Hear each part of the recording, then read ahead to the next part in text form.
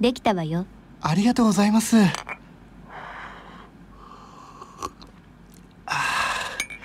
温まりますねここは。いやしかしなんでお前こういうタイミングでそういうことになるわけ？あすいません。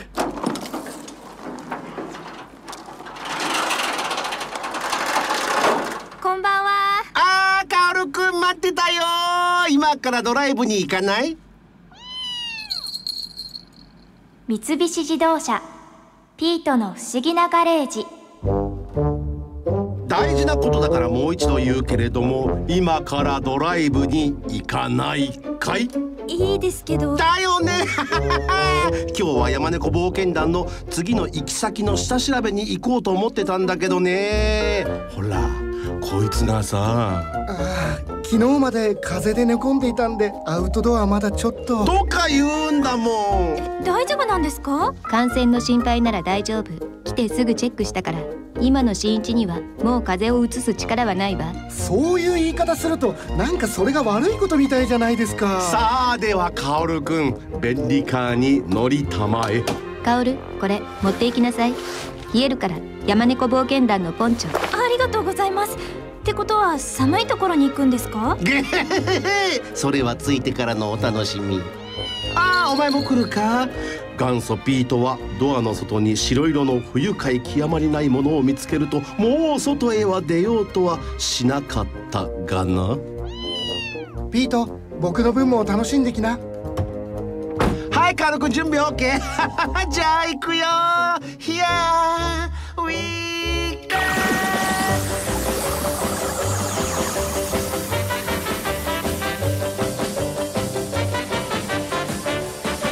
If you ever plan to motor west, travel my way, take the highway, that's the best.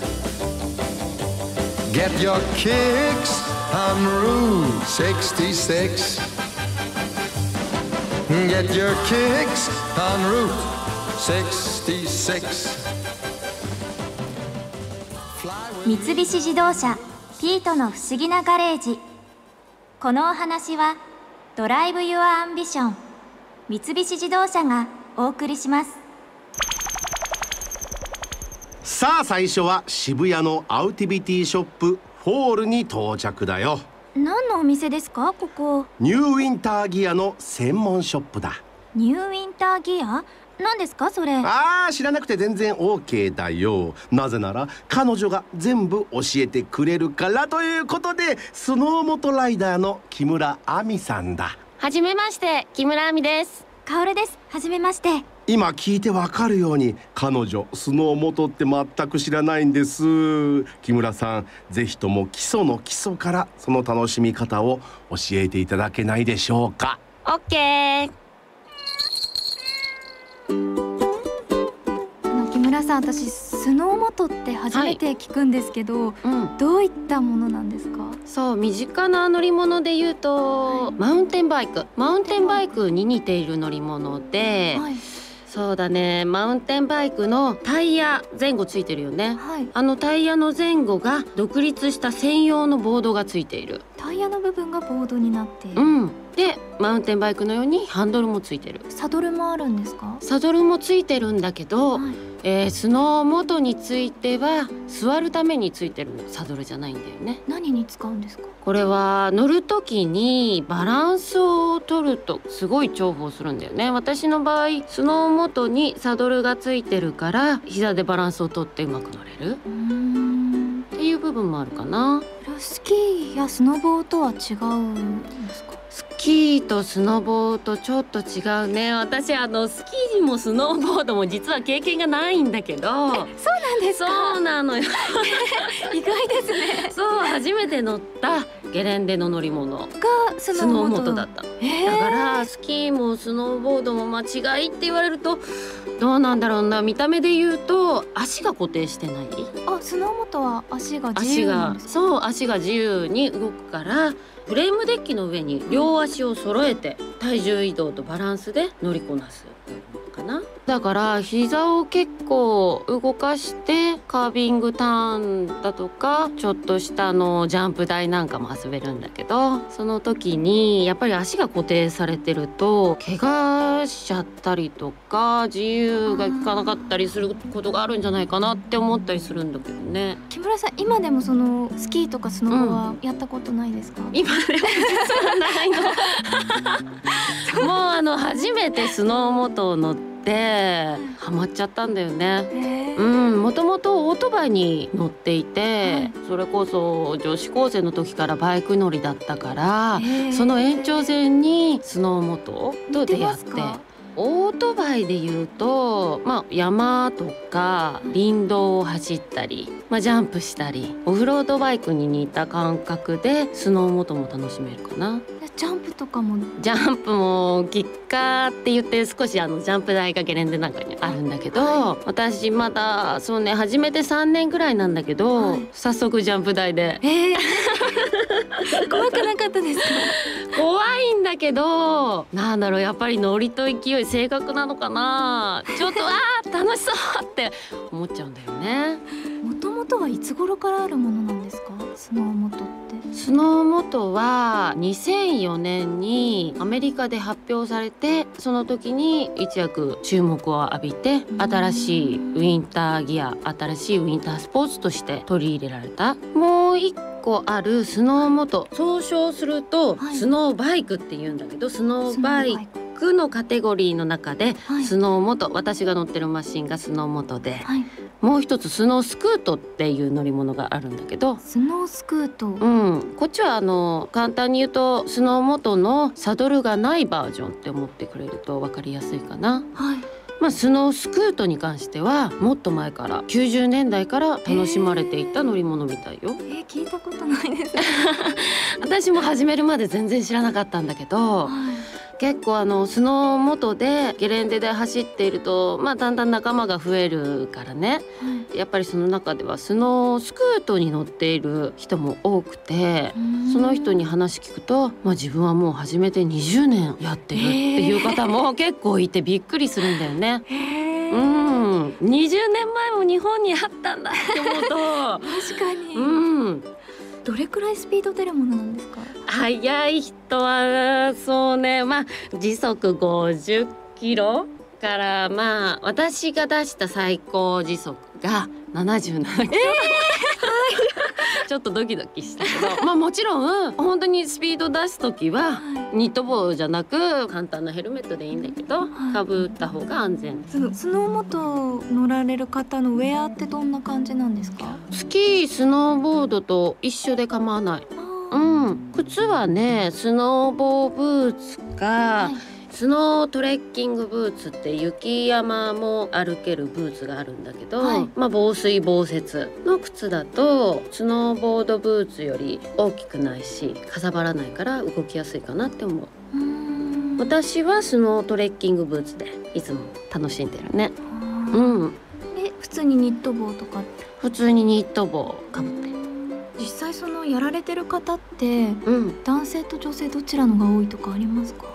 比率で言うとまだ男性の方が多いんだけどやっぱりスノーモト人口が毎年増えていく中で女性のスノーモトライダーも増えてるなっていう印象はすごいある。年々滑走可能ゲレンデはい。スノーモトスノースクートを滑っても OK っていうゲレンデが日本全国でどんどん広がっていてもう今ではスキースノーボードに次ぐ人気まあゲレンデではよく見るよね。おすすめのゲレンデとかありますか？私が好きなゲレンデはね野沢温泉スキー場とあと日本で最初の方にスノーモトを滑走可能にしたっていうスノーモトの聖地って呼ばれてるはい。津賀池高原スキー場。どこにあるんですか？長野。あ長野津 賀池高原の、はいまあゲレ食ってゲレンデで食べるレストランの食事が美味しいんだよね。ゲレンデの食事ゲレ食ってゲレ食って言って津賀池高原でなんかこうゲレ食バトルっていろんなレストランで競い合ってるんだよね。そこで食べるしらすのパスタが大好き。そうスノーモートをしに来てるのかパスタを食べに来てるのかどっちだよって。ちょっと気になります。そう津軽家はスノーモートの聖地って呼ばれてるんだって。じゃあもう昔からスノーモートライダーがたくさん集まってる、うん。だから今でも多いよね。うん。いろんなマシンを見る。私あんまりあのスポーツ得意じゃないんですけど、ん。そういう人でもできるものですか？あもちろんあのー今ね滑れるゲレンデがどんどんどんどん増えてきたから、そういうゲレンデで、まあ、スクールを開催していたりイベントを開催したりしてるからチェックしてほしいかな。ちなみにそのマシンをうん、買いたいってなったらいくらぐらいするんですか？マシンはそうだね。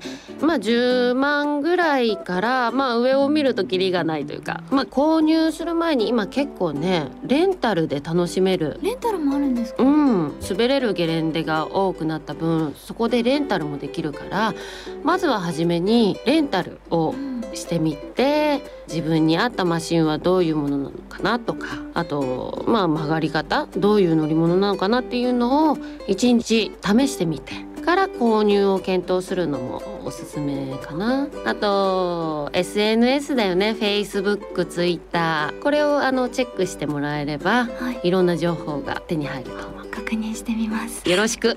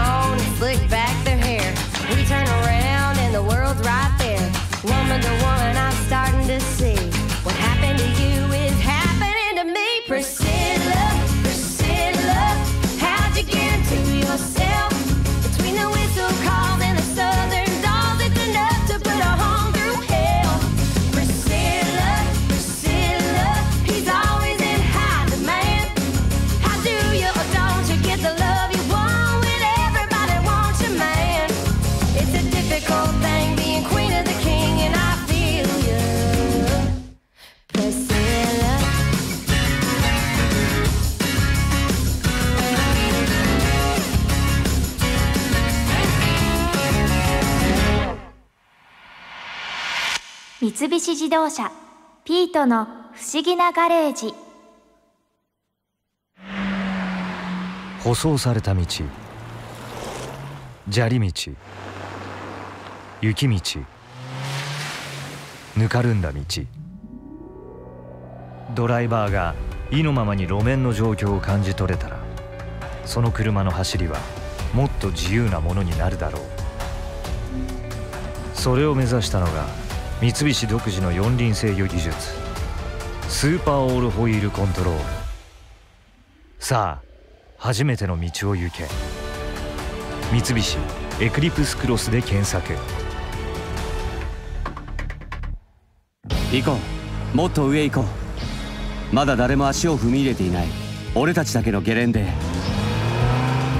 仲間とならデリカとならもっと先へ行ける。さあ自然を遊び尽くせ。三菱デリカ D5 冬の特別使用車シャモニー登場。1500ワットの電気を生む SUV それはまるで大自然をかける発電機。アウトランダー PHEV が電気の力でアウトドアをもっと面白くする。あなたならどう使う？プレイニュー好奇心の電源を入れよう。三菱アウトランダー PHEV さてお次はソリの歴史を見に行こうと思うんだけれどもカオルくんもなんとなく察してはいると思うけどソリっていうものはすご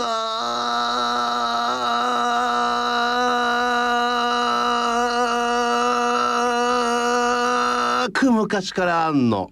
ですよね。そうなんだ。その始まりから見ていたらキリがないんでカオルくんが興味を持ちそうなところを選んで見に行こう。では時空を超えるドライブへ。Here we go!「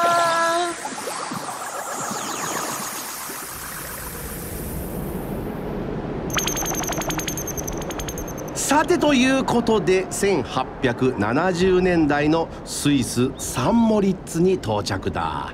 さあ行ってみよう。あ博士本庁。ああそうか忘れるところだった。よいしょ。よいしょ。じゃあ行こわあ綺麗な場所ですね。うこの頃から有名なリゾート地だからねサンモリッツは。ああほらあそこ。見てごらん。えソリ？あ早い。あまた来た。何ですかあのソリは。見に行ってみよう。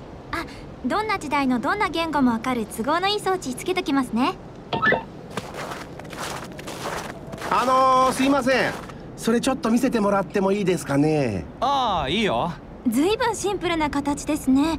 板の前の部分が曲げてあるだけで。それは雪よけだよ。特徴的なのは板の裏だよ現代のソリは雪の接する部分が少ない。滑走部ランナーって呼ばれる部分があるんだけれどもこれにはそれがない。面全体で雪に接するようになっているんだ。昔からトボガンはこの形だよ。トボガン？ああこのソリの名前ね。皆さんこのトボガンでよく遊ぶんですか？この辺りじゃ200年ぐらい前からトボガンで遊んでいるよ。もっとも昔は雪の斜面を滑るだけこんな風に直線とカーブがちゃんとあるコースができたのはつい最近だけどね。じゃあ最新のウィンタースポーツってわけですね。そうなるかな。じゃあ僕はもう一回滑りに行ってくるんで。ありがとうございます。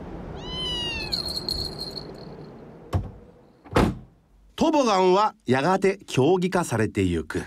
同時にいろいろと改良されてボブスレーが生まれリュージュが生まれスケルトンが生まれてゆくんだすべてのソリ競技の元祖なんですね。そういうことだね。では次は同じ頃日本のソリはどんな感じだったのかを見に行こう。Here we go!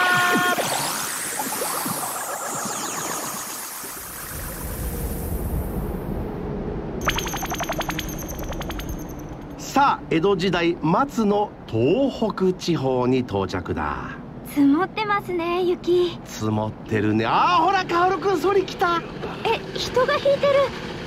え見かけない顔だな。ああ私たちは旅の者でして。どうりでおかしなドテラ着てるわけだ。寒くないのかいそんなペラペラで。風を通さないから見た目よりずっと暖かいですよ。そんなもんかねあの重くないんですか？そんなに荷物を積んで。ああこの程度。普段は米俵の56票は積んでるからね。いつもそうやって荷物を運ぶだけなんですか？それで遊んだりはしないんですか？わらしっこはよく遊んどるよ。ほら。箱ぞりだ。まあ箱って言ってもこの辺りじゃわらしっこが乗るのは草で編んだカゴだけどな。ああほらカオルくん。あっちからほら面白いそれ来た。あ何ですかあれ。ソリの上に屋根までついたカゴが乗ってますよ。ありゃカゴぞりだな。中に乗ってるのは多分お医者様だ。上に乗っているのは時代劇によく出てくるカゴと似たようなもんだね。中には防寒用の布団まで積んであるんだ。へえさてとじゃあそろそろ行くとするかお引き止めしちゃってすいません。日本の場合この頃はまだソリは大人のレジャーやスポーツっていう感じではなかったんだね。そうなんですね。さあ続いては世界でも有名な犬ぞりを見に行こう。タロとジロですか？あーもっと有名な犬ぞりだ。ヒャーウィーソリー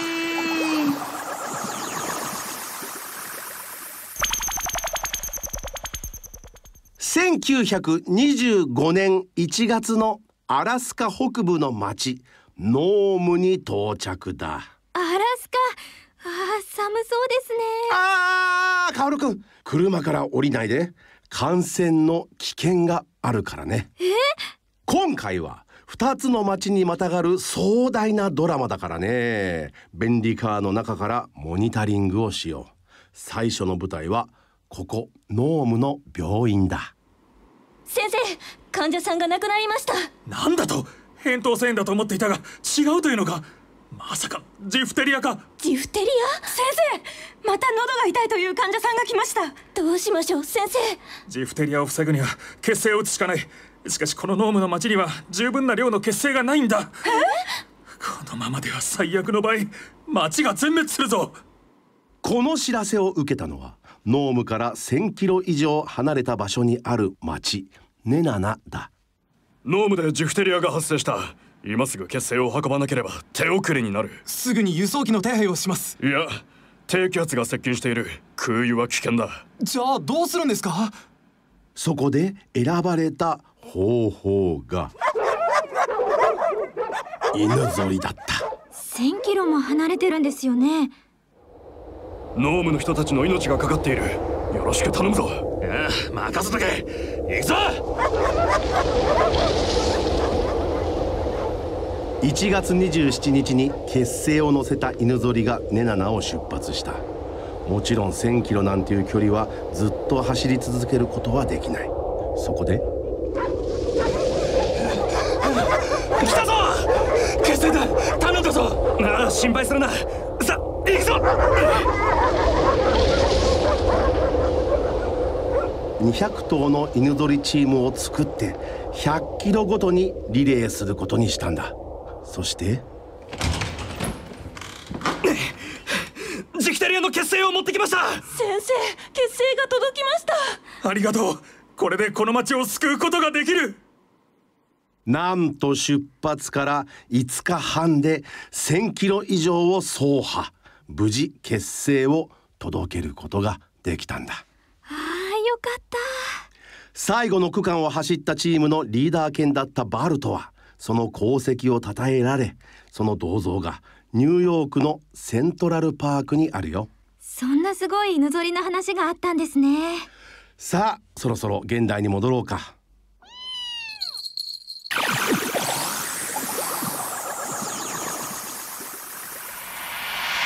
三菱自動車ピートの不思議なガレージアウトランダー PHEV が電気の力でアウトドアをもっと面白くする。電動のこぎりで青空の下の日曜大工。こたつに入りながら星空を眺める。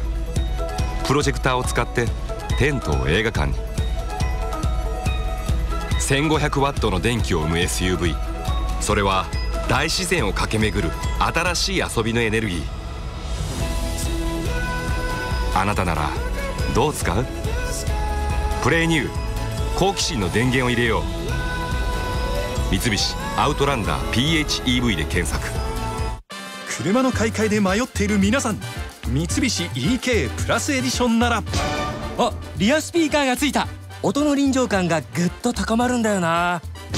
ステアリングオーディオリモコンもついた。オーディオ操作も楽々ね。でお値段は？嘘変わってない。さらにハイスペックナビもプレゼント。もう迷わない。道にも迷わない。三菱 EK プラスエディションはリアスピーカーとステアリングオーディオリモコンがついてお値段そのまま。さらにハイスペックナビまでプレゼント。安全装備もついてる。もう迷わない EK 詳しくは三菱のお店でさあ群馬県昭和村のドグタウン工房に到着だよ。ここではドッグスポーツのレッスンやトレーニングをやっているんだ。ああ平井さん。博士どうもこんばんは。代表の平井康さんだ。ああ平井さんのところではいろんなドッグスポーツをやってますけど犬ぞりもやってますよね。もちろんやってますよ実は彼女が犬ぞりに興味を持っていましてね。基本的なところやその楽しみ方なんかを教えてもらえませんか？わかりました。あの平井さん犬ぞりの時に引いてる犬の代表的な犬種って何ですか？俗にアラスカンハスキーと呼ばれている犬が多いんですけれどもこれは、ええ、いろんな犬種が混じってるって考えてもらえばいいんですけどシベリアンハスキーですとかポインターそれから昔からアラスカにいた土着の犬たちそういったそれ犬たちを総称でハスキーと呼ばれてて力の部分スピードの部分スタミナの部分それからガッツの部分、うんうんそういったものを全部合わせ持っているのがアラスカンハスキーと呼ばれてる。じゃあ犬ぞりをやってる犬はもうほとんどがハスキー犬なんですか？いやあのね犬ぞりも本格的なレースは確かにそういうハスキー犬が多いとただ実際に今世界中に普及してるファンレースと呼ばれてる楽しいレースはそれこそ小さなダックスフントから大きなシェパードまでいろんな種類の犬が一緒にいろんな種目を楽しんでます。ファンレースって言うんですか？そうですね。はい。え ーもう人間と一緒にソリなしで一緒に走るだけとか。あそりなしで、はい、もしくはそれをつけたとしても人間がそれを押してあげて犬に負担ないような形で走るとかそういう楽しめるものが今本当にどんどん増えていってます。だからいろんな犬種がいますそれも雪の上でやるんですか？そういうことです。へえ、はい。ダックスとかもやるんですやりますね。意外と早いですよ。彼らは根性もあるしダックスフント。えダックスフンドも犬ぞり？やってますよ。ダックスフントの犬ぞりチーム8頭ぐらいつないで犬ぞりチームをかつてみえてー、かわいい、はい。私もダックスフンド飼ってるんですあそうなんですか。はい。トレーニングすればできるってことですか、できるかもしれない。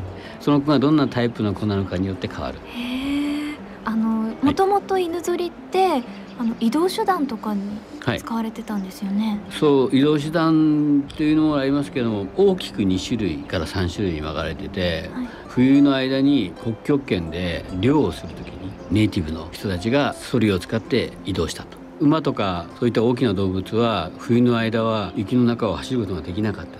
えなんでですか？あのやっぱ体が大きすぎる。犬だと人間と一緒に雪の中深雪の中でも走っていくことができたんですけど馬は体が大きすぎてそれができなかった犬はその上を雪の上を浮いて走ることができる。軽いから。そうですね。はい。他にはどんな種類というか？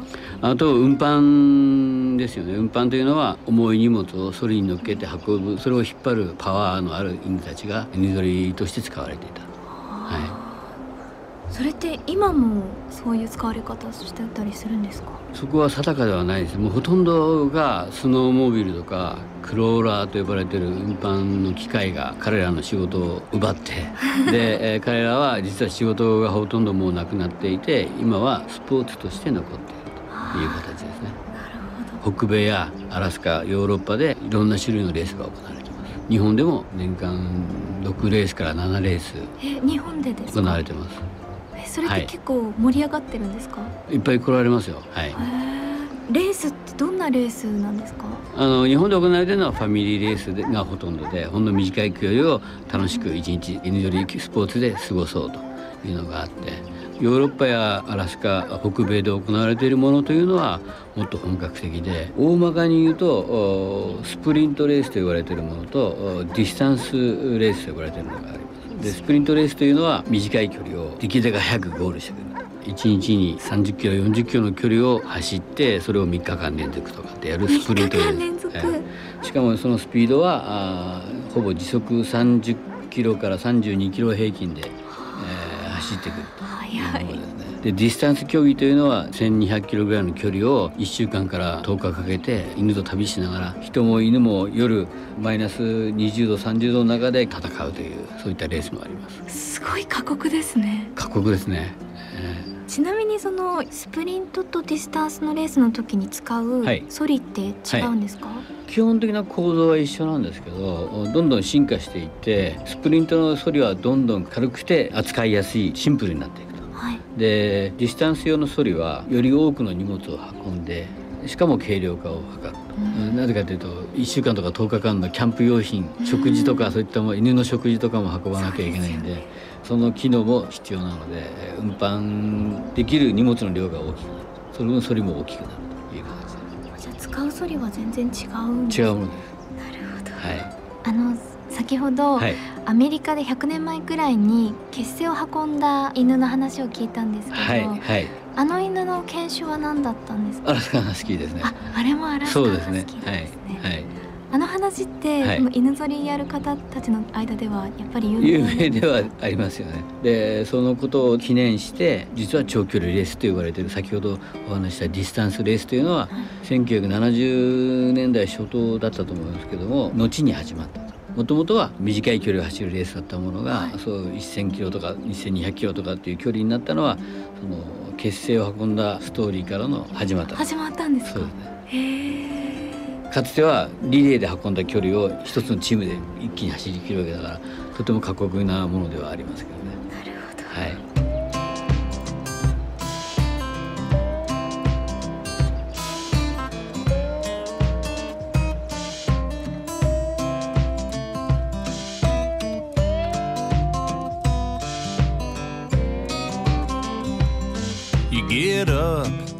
Get coffee, you get paid, you get off, you get gas, you get beer, you get drunk, you get weird, you get drove home, you get up thrown, you get hungry, you get chicken, you get tar, needs picking, you get tan, you get pale, you get sick, you get well, you get dressed up, you get messed up. Everybody say, hey, God Almighty, it's Friday.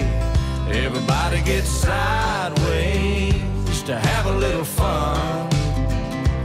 Everybody's living, everybody's trying, everybody's dying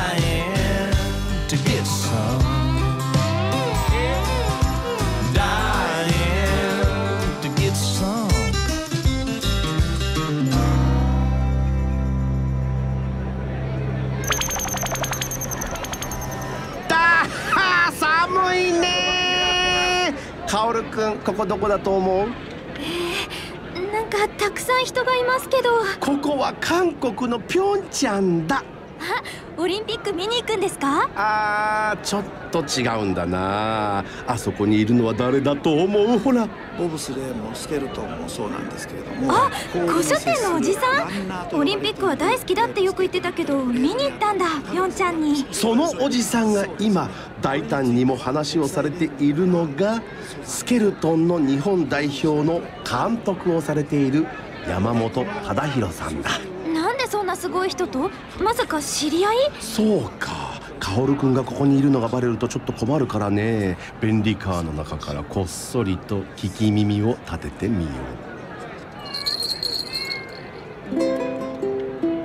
ンチャンはスケルトンしか日本チーム来てないんですね。残念ながら3種目あるうちのスケルトン種目しかエントリーできません3種目とおっしゃいますとボブスレーボブスレーとリュージュリュージュとスケルトン。スケルトン。これがソリ競技の3種目になります。あのボブスレーはすぐ分かりますよね。4人でヘルメットかぶってあのクールランニングって映画もあったので相当親しんでますが、リュージュとスケルトンってどう違って何人でやるもの？ですか、すごい初歩的な質問で恐縮ですけど。基本的にスケルトンは1名の種目なんですね。あ2名ってないんですね。ないんです、はい。でリュージュについては1人乗りと2人乗りと両方あります。うんでもちろん男女で異なります。うん。でスケルトンとリュージュの一番の違いは、スケルトンの場合は腹ばいになって頭から下へ向かって滑ります、うん。リュージュの場合は、仰向けに寝てつま先の方から下へ向かって降りていきます。ここが大きな違いの一つですもう一つの違いは、スケルトンはスタートの時に走っていってソリの上に飛び乗ります、うんうんリュージュについてはそれができないので、バーを握ってそのバーの力を腕で使いながらスタートします。一切走りません。分かった。はいはい。変な横の棒みたいなの掴んでこうその通りです。よいしょってこう、はい。オールを書くみたいに出るやつですね。そうですでリュージュという種目は小さい子供のうちから滑ってトレーニングを重ねないとオリンピックに出るような一流選手には育たないんです。ところがスケルトンについてはジュニアの時の体験がなくても例えば高校生から始めてもオリンピックの選手にはなります。っていうことはただ乗ってるだけじゃないんですねあの人たちもちろん。ただ乗ってるだけならどなたでもこの競技はできるんですよ。だから度胸のある人の大会なのかと思ってたんですが。はい。度胸試しの大会ではないのではい。こればかりはもうソリの上でいろんな操作をしてます。リージュとスケルトンも一人だったら特にスケルトンまあリージュの方がそうか。一回書いてあと地面をこう手であんなの気持ちだろうなと思うんだけど。そうですねまあ、書いてますよね。でどちらの競技も加速できるのはスタート部分だけなんですね。その後は何をしてるんですか？これは操作をしながら一番いいコース取りをしていくわけです。操作というのはどこでするんですか？だって操縦桿がついてるわけじゃないでしょ？そうですね。リュージュについて言いますとソリの先端が丸い形で木の部分がせり上がってます。あもういかにもソリっていう感じですね。はい、うん。ここへ足をかけます。そして左側へ曲がりたい時は右側の足を使ってその曲がっている空辺っていう部分なんですけれどもそれを内側へ入れます。そうすると左側へ曲がります。え操縦してるんだ足で。操縦してるんです。足で操縦してるんですでスケルトンについて言いますといろんな操作をしてるんですが基本的に右肩を入れると左左肩を入れると右肩の操作があります。その空兵に当たることを肩でやってるってことなんですか？そうですね。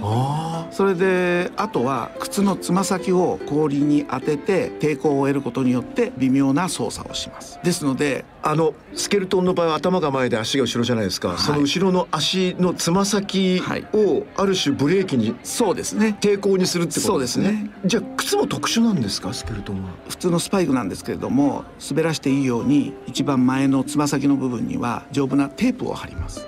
でそのテープは氷の上を滑らせることによって傷んでしまいますので傷んだものは毎回テープを外してもう一回新しいテープをあじゃあつけます専用のシューズってわけではないんですか？シューズ自体は専用です反り競技専用です。ああそうなんだ。はい。でそのテープだけを常に取り替えてる。取り替えますそれで相当変わるもんなんですか？コースが。変わります。スケルトンの場合は100分の1秒で競技します。でリュージュの場合は1000分の1秒で争います。ですからほんのわずか。例えば100分の1秒って言ったらまあ数センチ10センチレベル。1000分の1秒もそうですね。数センチレベルで勝敗が決まっていきますので操作のちょっとした違いによって勝ち負けが変わってしまいます。あの時速どれぐらい出てるんですか？みんなそれぞれボブスレースケルトンリュージュって速度が違うものですか？違います。コースによってまた異なります。ものすごい初歩的な質問ですけどボブスレーリュージュスケルトンって全部コース違うんですか？いやコースは全て同じコースです。このコースについては今世界で16あります。あそれ公式競技ができるコースがってこと？そうです、で少し前までは17あったんですがイタリアのトリノオリンピックに使ったコースが閉鎖になってしまいましたそして今16です。えでも世界で16カ所しかないの？ないんです。で実は日本に唯一ある長野のコースが来シーズン以降は氷を張らないということで実質15になります。あじゃあ長野では世界選手権とかワールドカップとか転戦で来てたんですか？かつてはやりましたあそうところが世界のコースの分布状況を見ますと北米ではアメリカ合衆国に2つカナダに2つ、北米大陸に4つあります、それからヨーロッパには10カ所あります、そこへ長野の1つ、そしてピョンチャンオリンピック韓国に1つ、でこれだけしかないんですね、で反り競技3つの中ではボブスレーが一番の花形になります。ですのでオリンピック約3週間あるわけですけれどもボブスレーが鳥の競技になりますから一番最後に入ります。そうなんだ。はい。やっぱりあの迫力といいスタートの凄さといいやっぱり見てる人をこう引きつけるものがありますね。いやただ引きつけるという意味ではスケルトンが一番ですけどね。あのど素人の目には。だって頭から降りてって。そうですね。皆さんよくそういうふうにおっしゃるんですね、一番危険なのはスケルトンじゃないかって皆さん言います。どう見てもそうじゃないですか。はい。なんか首から降りてってどっかへ頭ぶつけたら死んじゃうんじゃないのっていうイメージですよね、ところがこの3つの競技の中では一番危険なのがリュージュなんですスケルトンが一番安全な競技です。操作しやすいってことなんですか？スピードが出ない？そういうことですね。スピード出ないってことはないです。スピードは3つの競技ほぼ同じぐらいのスピードが出ます。あどれも？はい。今まで一番速かったコースはバンクーバーオリンピックの開かれたウィスラーのコースですね、ここは150キロを超えます。で平均しますといろんなコースで130キロ台なんですね。怖え。はいでスケルトンの方がリュージュよりは安全と言われてるとおっしゃったのはどういう点が一番大きく違うんでしょう？そうですね。例えばお正月にあげるタコイメージしてみてください、ええ。あのタコが安定するのは下に2本のひらひらの足がついてるから安定します、うん。はいはいはいあの足がなかったらタコの動きはものすごく不安定になりそうですね。あれをイメージしてもらうとこのスケルトンがわかるんですね。要するに一番下半身の両足がいざとなればつま先を使って氷につくことができる。それを操作の一つとしてできるなるほど。はい。要するに滑ってる最中に足が氷の上にタッチできる。リュージュの場合は一切それができませんので両足で挟んだ空ヘの微妙な操作でクヘってのはあのソリの曲がってる部曲がってるあ分ですね。のソリの本当になんで丸くなブレードですね。うん。あーブレードはこの下に下か。うん。その上っ端で。そうですね。パチね上っ端ですね。はい。そこを足で挟むことによって操作をするんです。ですのでこの方が難しいんですねわかりますねそれは、直接だから自分の足である程度制動に関することができるスケルトンと、全く説明にはタッチできないそうですね。リュージュってことですね。そうですね。で特にスケルトンの場合は自分の視線の位置がですね氷から15センチ20センチ以内のところにありますから、はいそれを130キロ以上のスピードで降りてきますので。体感スピードがその3つの中で半端ないですよね。そうですね。だってすぐ近くをビューってすっ飛んでそうですね。ごめんなさい前見えてんですかあの人たちは。はいもちろん見ていないと操作ができませんしいいコース取りができませんので。ということはうつ伏せに出てクッと頭を上げてるんですね。その頭上げる時もですねあまり上げすぎると空気の抵抗がきますからタイムを落とします。ですので上目遣いでできるだけ頭は上げない空気抵抗がない状態で滑ります。だけど時速150キロまあちょっと少なめに見て130とか120だって分速で2キロですよ、はい、1分に2キロってことは30秒で1キロってことは3秒で100メーターってことは1秒33メーター。はい。1秒間に33メーター。すごいスピードですね。コースの中で立っているところで見れるのは2秒も見れないかもしれないですね。1秒とか2秒ですよね。そうですね。でもあれ完成する時って横にいるんですかみんなオリンピックとかワールドカップの場合にはスタートの位置コースの途中ゴールここに大きなモニターを置いておきます最近は。ですのでモニターを見ながら選手やボブスレーのチームが今どういう状態にあるのか分かります。それを見ながら目の前の2秒だけは見るみたいな、そういうことですね。でこのソリはもともとあの曲がりくねった山道を道路をの端をですね少し雪で盛り上げて飛び出さないようにしといてそしてそこでソリで遊んだと。それが競技の発祥なんですよ。おおボブスレーとかリュージュとかスケルトンのはい。あのボブスレーソリ競技のね、でこれが徐々にスピードを求めるようになってきてどんどん専門に固めるようになったんでね。そうです。で最終的にはですね人工凍結トラックになったんですね。雪じゃなくて氷なんですね。そうですね、山道で溝を作った状態の中で滑るのでは一定のスピードまでしかできない、そのスピードを超えるとコースから飛び出して競技者が大怪我をするという状態が起こってきます、でそういう中でコースをコンクリートで作ってですね、そこで氷を作ってその中で競技を行うと、今世界で一つだけがまだ自然の雪と氷でコースを作ってるんですよ。こ？これがソリ競技の発祥の地スイスのサンモリッツです。はいここは本当に山道を毎年同じ場所に雪を固めてコースを作るんですけれども若干年によって異なってしまいますね。はい。そうでしょうねだって。そうですね山本さん行かれてますねもちろん。今シーズンもワールドカップの大会は第7戦がサンモリッツでしたね。全然違うんですか他と？違います。もう氷の質が違いますのでそれから長さも長いですしランダーが変わってきますね。その発祥の地だけ人工凍結じゃないというのがなんかあるんでしょうね。そうですね。本来はこうだよみたいなでもねここは入場料そのソリ競技のワールドカップ世界選手権やるときに入場料を取るんですけれども日本円で言ったら2,000円とか3,000円ぐらいな入場料がかかるんですけれどもみんなあのお金払ってても入ってきますね。好きなんだ。そうですね。それもカウベルってご存知ですか？おはいはい。カランカランカランってうん。はい、ああいうようなものを持ってきたりしてもうどこの国の選手にもそれを鳴らしながら応援してくれる場所ですね。いい風情じゃないですか。ですね。うん。お国柄もあるしその音自体も想像がつくけど。そうですね、はい。もう分け隔てなくどの選手も応援してくれますね。なるほど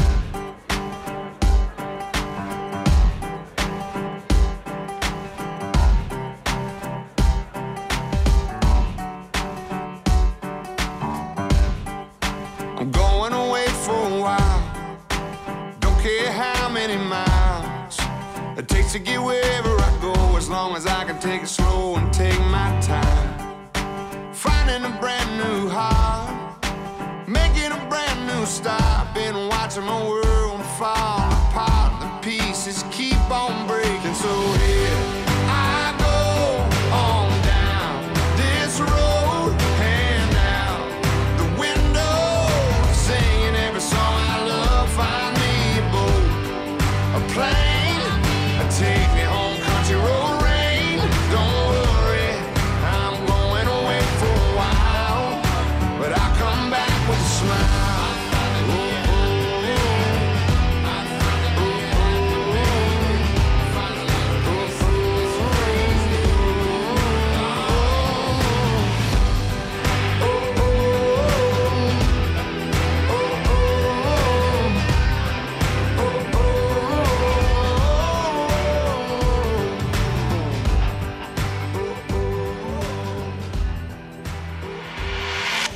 三菱自動車ピートの不思議なガレージ。お願い。一回だけデートしてよ。うーん。どんなリクエストにも応えるから。本当ですか？どんな場所にも連れてってあげるから。じゃあ私が大好きなアウトドアに行きませんか？山奥の絶景ポイントでテント張ってこたつでぬくぬくしたりお鍋をつついたりしてアイスも食べたい。そのままで転んだら空には満天の星朝はおしゃれなパンケーキを焼いてヘアアイロンもなくちゃそんなデートならいいですよどうだ？こんな無理難題に応えられるわけ？オッケー余裕だよ。今度の土日でいい？アウトランダー PHEV はまるで大自然をかける発電機。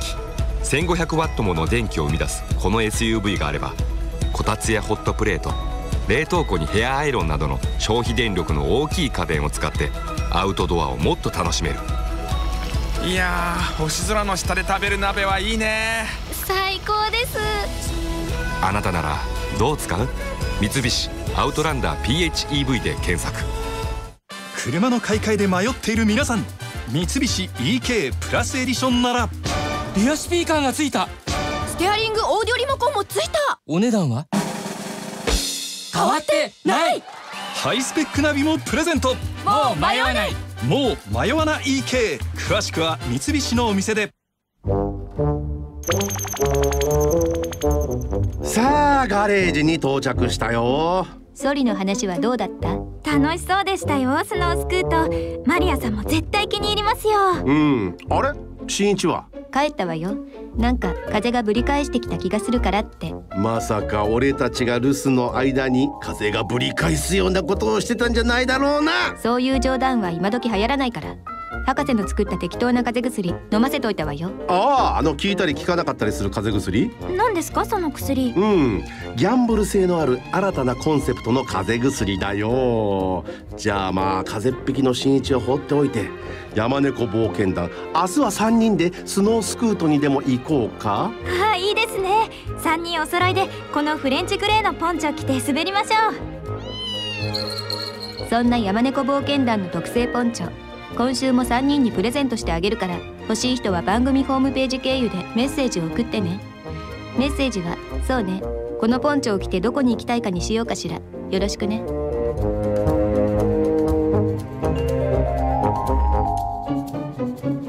三菱自動車ピートの不思議なガレージ。このお話はドライブ・ユア・アンビション三菱自動車がお送りしました。